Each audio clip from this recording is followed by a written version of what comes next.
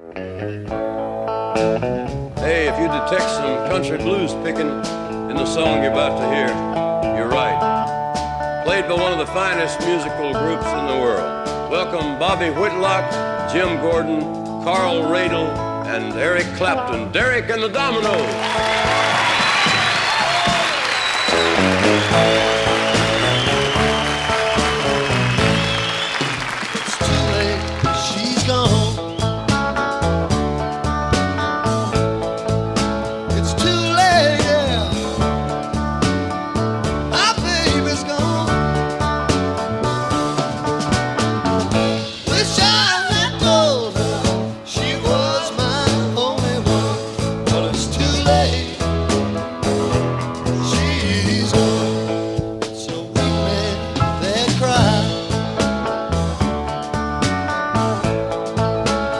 yes, I.